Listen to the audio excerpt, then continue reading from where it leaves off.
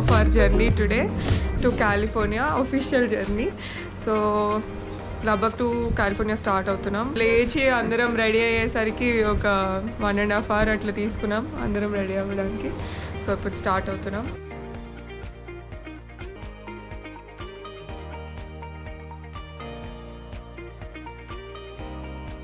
మేము ట్రిప్కి తీసుకెళ్ళే లగేజ్ అంతా చూపిస్తాము. షాక్ అవ్వకండి. లేపండి అండి షు, లేపండి అండి ఏంటి బాబా అన్న? ఇంకోసారి అన్న?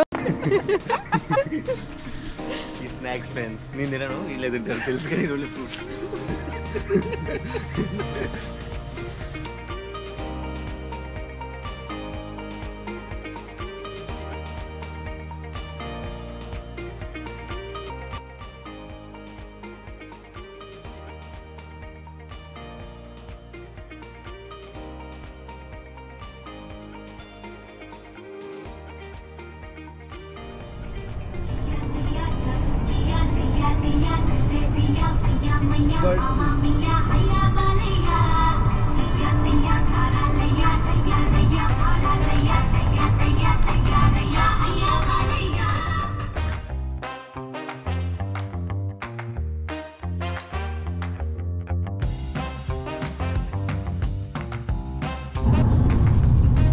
తప్పక నమస్కారం. రెండోసారి చెప్పాల్సి వస్తుంది. కొన్ని పరిస్థితుల కారణం వల్ల నా పేరు వీడెవడో భావరక్షణ చేస్తున్నాడు చైల్డ్ ఆర్టిస్టా? నేనంటే హెల్దీ కాబట్టి ఇది తింటున్నాను. తినండి గడ్డి తింటున్నారు.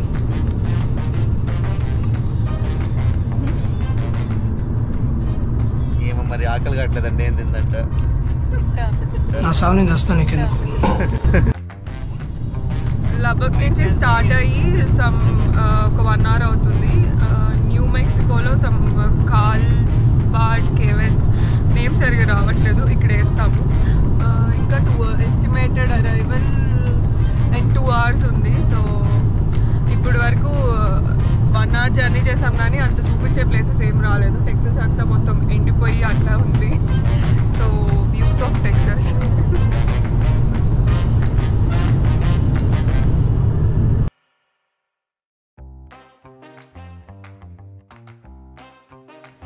లబక్లో స్టార్ట్ అయిన తర్వాత ఒక త్రీ అవర్స్కి న్యూ మెక్సికో రీచ్ అయ్యాము. లబక్ టు కాలిఫోర్నియా వెళ్ళే దారిలో New Mexico and Arizona states వస్తున్నాయి ఆన్ ద వే ఉన్నాయి. సో మేము న్యూ మెక్సికోలో ఆగి ఇక్కడ ఉన్న ఫే ఫేమస్ నేషనల్ పార్క్స్ అవి చూసుకొని వెళ్దాం అనుకున్నాం. దానిలో ఫస్ట్ స్టాప్ వచ్చేసి కాల్స్బాడ్ క్యావెన్స్ నేషనల్ పార్క్. ఇదేంటంటే hundreds of caves and rock formations అవి ఉన్నాయి ఇక్కడ. Google Maps only Carlsbad Caverns national park sign వరకే తీసుకెళ్ళింది. అక్కడి నుంచి కేవ్స్ ఎంట్రీ పాయింట్కి ఎలా వెళ్ళాలి అనే ఇన్ఫర్మేషన్ మ్యాప్స్లో లేదనమాట సో మేము జస్ట్ ఒక రోడ్ ఉంటే దానిలో అది ఫాలో అవుతూ వెళ్ళిపోయాము. But on the way road అయితే బాగుంది కొండలు అవన్నీ ఉన్నాయి. సో మేము అక్కడక్కడ ఆగుతూ పిక్చర్స్ అండ్ వీడియోస్ తీసుకున్నాము.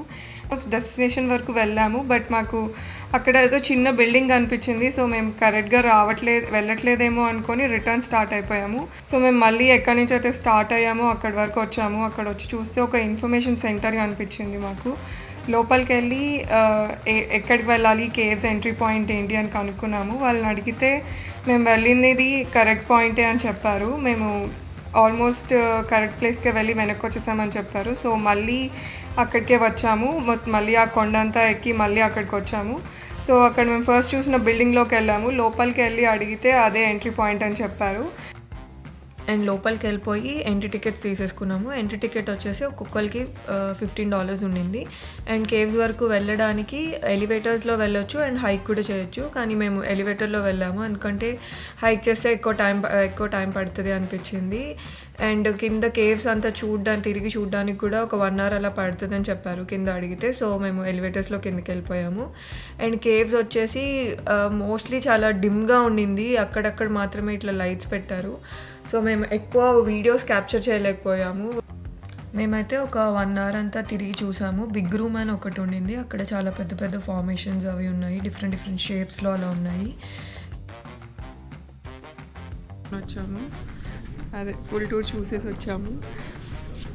ఇది ఏమంటారు? పోస్ట్ కార్డ్ తీసుకుంటున్నాం. జస్ట్ మెమరీ లాగా. టూర్ అయిపోయి బయటకు వచ్చేసాక ఎలివేటర్స్లో పైకి వచ్చేసాము.